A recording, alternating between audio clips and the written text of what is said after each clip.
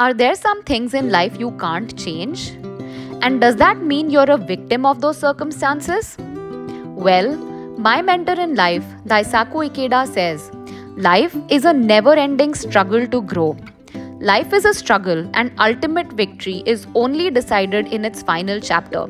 So, I guess I will only find out in the end whether I allowed my circumstances to defeat me or whether I fought well until the end. However, there are a few things in my life that I haven't been able to change, and one of them is.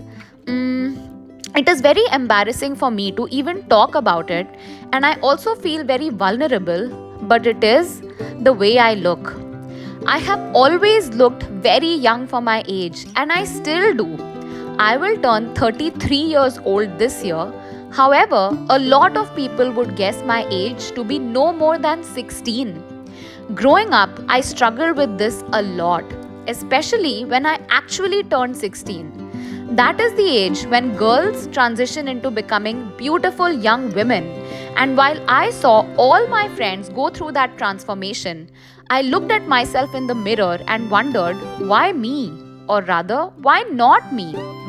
I have cried about this so much for so many years. I even went to some doctors to ask if there was something wrong with me. But they would laugh it off and say, You should be happy that you have such young looking skin. But I didn't feel happy about it. In fact, whenever I was asked to feel happy about it, I felt like my feelings and struggle had been completely diminished and dismissed. No one seemed to understand how I felt. I felt embarrassed, dejected, and I also felt completely alone in my pain. From the doctors and through my own research, I found out that this young looking skin was simply genetic. It was in my genes, and there was nothing I could do about it. Even now, Perhaps more so now, when I'm introducing myself to someone new, I tell them upfront that I know I look super young for my age, but I'm much older than what you would guess. It is embarrassing, but I have learned to put that momentary embarrassment behind and focus less on how I look and more on what I am as a person. However, three years back, I was terribly haunted by this embarrassment. Two questions kept coming at me Why me? And is there really nothing I can do? That's when I decided that even though there was nothing I could do to change my face, I could still work hard to have a healthy and fit body. Determined to not be defeated by my destiny, I started working out.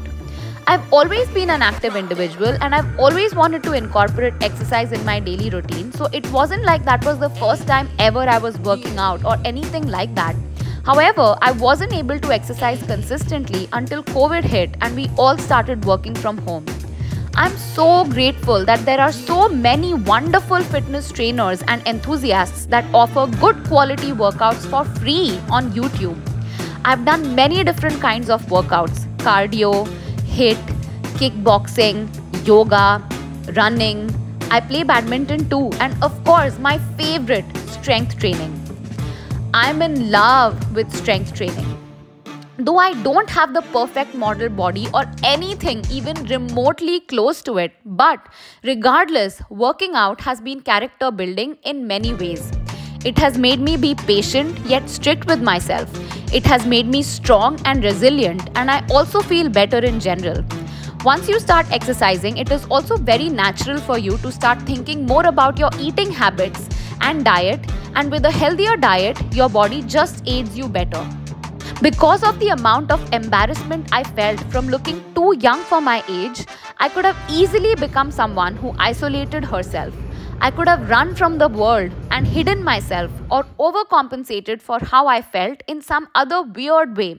However, because of encouragement from my parents and always having friends who never ever even thought of looking at me differently, and most importantly, thanks especially to my mother who has a very strong spiritual bent, I was introduced to great books and great philosophy from a very young age. I was never so overcome by my embarrassment that I ran away from facing my life. A main turning point in my life was when I started practicing Buddhism seriously, without which I would have definitely wasted my life away. If not because of this, then because of something else.